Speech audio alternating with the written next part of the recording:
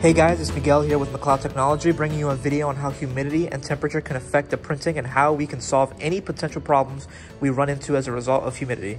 In this video, we're going to answer questions like what is humidity, what it does to your printer, how that can affect your prints, why you should care, and what we can do to solve these problems. So let's get right into it. So let's start with what humidity is. In simple terms, humidity is the word that we use to describe the amount of water vapor in the air.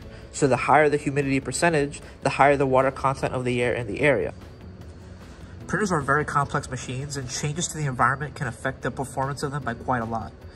Printheads in particular, such as this one, are manufactured to operate within an acceptable humidity range. If the humidity is too low, the printhead may dry out and onboard cleanings will become less effective when problems arise. You'll see problems like color inaccuracies, banding, and faded or dull looking prints. Here in this example, you can see how fixing the overall humidity in the room has fixed the colors on this print and has transformed them from being bluish to the correct green look. If the humidity is too high, the printhead could get too wet and won't be dry enough to properly fire the nozzles. You'll notice things like bleeding, streaks, smudging, and an overall diminished quality to your prints. The optimal operating humidity percent ranges from 40 to 60%. Printers are operable in any other humidity ranges, but understand that operating under 40% or above 60 will put the printhead's overall health at risk and will also put your print qualities at risk. This is a humidity monitoring device called the hygrometer. It shows you the indoor humidity and the temperature and the potential highs and lows of the relative humidity points. Now, here at McLaud Technology, we ship these with each printer so every customer has the ability to monitor the temperature and humidity. I'll show you in just a moment where we put them to accurately monitor our printers. So if you have ordered our 2410 printers, you have the ability to put them either on the roll cover, which is metal because this has a magnetic back, or you could put them right here near where the paper is dispensed. Or for more accurate readings, you could put them inside the printer where the print head would roll. Um, it's going to be hard to read it this way, but it would be a lot more accurate. Now that we've addressed what humidity is and how it affects your printer, let's get down to the meat and potatoes of the situation. Not addressing these problems could cost you hundreds, if not thousands of dollars a month in misprints. It could cost you even more in print head replacements and other components that may be damaged if condensation builds up in the printer. But not to worry, there are solutions.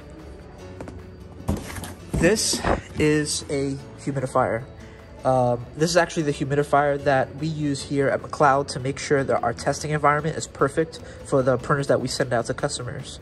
I want to give you guys a few tips on what you should look for when buying a humidifier for your printer. The first thing uh, and probably the most important, is that the humidifier that you buy should be easy to use and quick to fill. At the end of the day, you're running a business and adding another complicated machine that could take up your time doesn't really make sense. So one that is really fast to fill and doesn't really have too many bells and whistles should be perfect. Another thing that we look for is that we make sure that it is non-misting.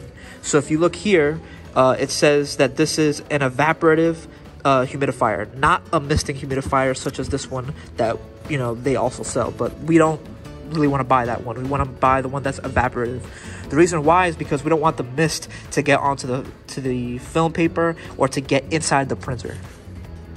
We also get one with replaceable or washable filter. The reason why we get one with a replaceable or washable filter is so that any minerals in the water that could dust up won't get onto our uh, onto our film. We also look for one that is built to run for a long period of time without needing to be tending to. So this one in particular, for example, uh, runs up to 24 hours without having to be refilled. And that's perfect because usually we print for 8 to 10 hours at a time anyways. Now, obviously, this humidifier only works in a case where the air around you is not humid enough. Now, if it's too humid, you'll have to buy a dehumidifier, which pretty much works in the opposite way. It pulls water vapor from the air into the dehumidifier, and it'll also filter the air while it does it. Um, there's a couple of these you could buy. Usually, I would buy them at Walmart or Best Buy. Uh, this humidifier in particular, I believe it costs us about $30 at Walmart. Um, it's not too expensive, and it'll really save you thousands of dollars in the long run. So it's a it's definitely a, a worth investment. So that's our video on humidity and how it can affect your prints. If you enjoyed the video, please give it a like, comment, and subscribe. And don't be afraid to reach out to us at mclaudtechnology.com or call our customer service department um, at the number down in the description below, or you can message us on our Facebook group. Thank you and have a great day.